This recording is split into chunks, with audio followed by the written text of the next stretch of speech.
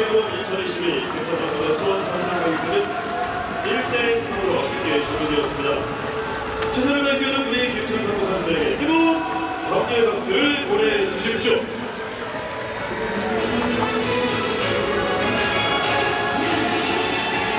10월 29일 토요일 마지막 홈경기 때 교체선수 4기 선수들의 저녁 기념식이 진행될 예정입니다. 팬 여러분께서는 많이 참석해주셔서 선수들에게 많은 축하와 격려를 부탁드리겠습니다.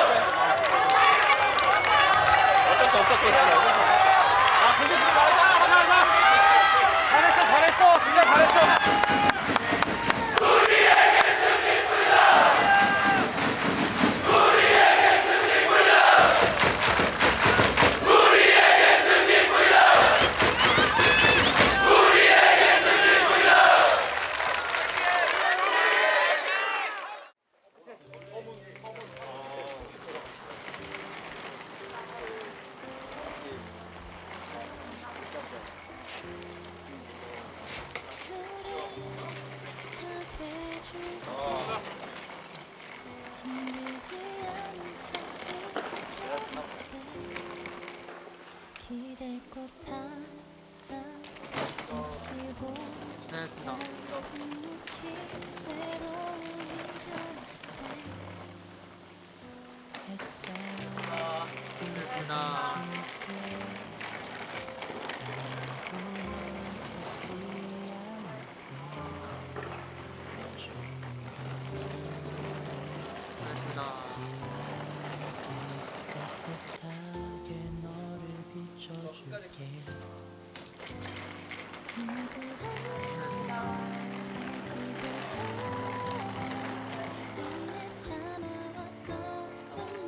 잘했습니다.